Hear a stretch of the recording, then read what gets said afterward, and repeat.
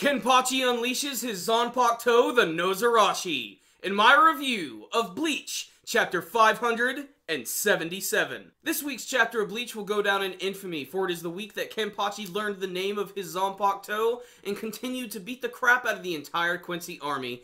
This week's chapter was surprising in that it had a really cool reveal at the end with Kenpachi's brand new weapon, the Nozarashi, but like some of the other typical chapters of Bleach, it went by very quick and can be boiled down to a very simple concept, which is big meteorite, Kenpachi cuts it in half. But boy, do they do it with some badass Bleach style. Actually getting to see Kenpachi's sword at the end of this week's chapter was a real surprise, because a lot of the times when they reintroduce these characters with brand new powers, they never fully reveal their weapons outright. They always like to put them in like in mist or in shadow.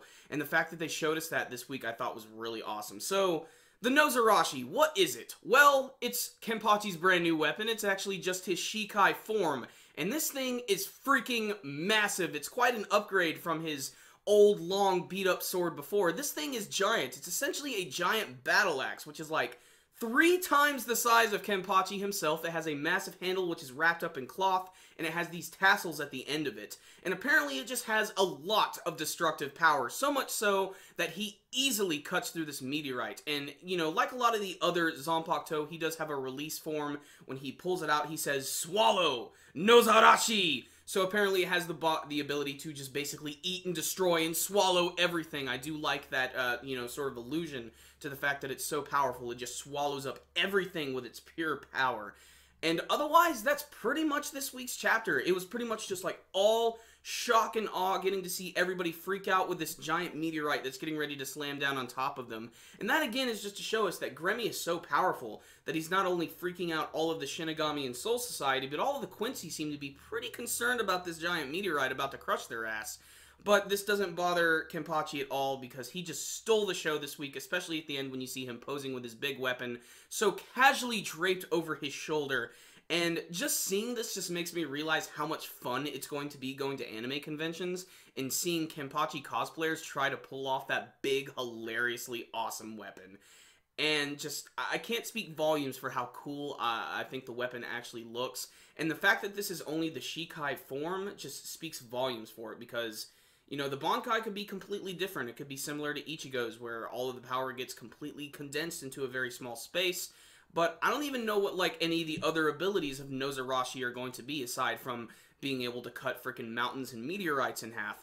But what I love most about this chapter and seeing it in the ability that Kenpachi has the ability to cut through meteorites, that means that Kenpachi could take on Madara Uchiha from Naruto pretty easily uh, just that would be a dream battle for me. But otherwise, uh, other good things about this week's chapter, there was a small flashback right before he unleashed his Zanpakuto for the first time, all about him not having his name.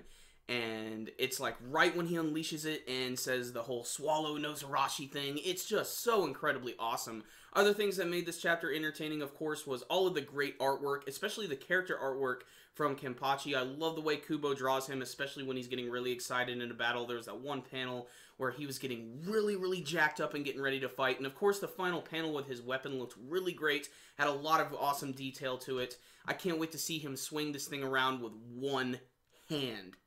Badass chapter of Bleach, guys. I cannot get enough of this one.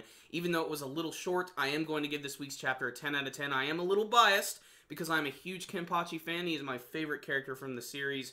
But I love this chapter. If you're following it, you definitely need to check this one out. It is a monumental moment for the series because Kenpachi has a brand new weapon. That's a pretty big deal. He's easily the most physically strong character, I think, maybe at the series in this point. I'm not sure what Zero Division is truly capable of on Kenpachi's level. Not to mention, we still have a few members of the Sternritter we haven't even seen. In fact, the leader himself is so obnoxiously strong, we need to remember that. He was able to take Yamamoto out with a single slash so I cannot wait to see what else Kenpachi's going to do in this arc. And even though his powers were just revealed in full and he has like his cool new weapon and everything, I still want to see Yachiru do something really awesome. I still think there's a lot of potential for her character, especially considering this is the final arc of the series. And I've said it before and I'll say it again. After seeing this week's chapter, God, I want the Bleach anime to come back so bad whether it be a brand new final season of the anime, an OVA, or even a movie trilogy for the final arc, I just want to see more Bleach anime so I can see Kenpachi beating the crap out of some Quincy ass. So check this one out, guys. It was pretty damn awesome. So what do you guys think about Kenpachi's brand new weapon, the Nozarashi? Do you like the design? Do you hate the design? Do you think the sword is going to have any other special abilities? And what do you think Kenpachi's Bankai is going to be? Remember guys, before you leave, make sure and give this video a thumbs up. It's one of the easiest ways to support these videos. And you can subscribe to our channel so you can see all of our latest content that we're reviewing. In fact, I just got done reviewing Soul Eater Not and Hunter Hunter. You might want to check those out. And you can check us out on Facebook and on Twitter. I'll put links to both of those in the description box below. So, I'll see you next time, guys. Super Kami Guru 9000. Out.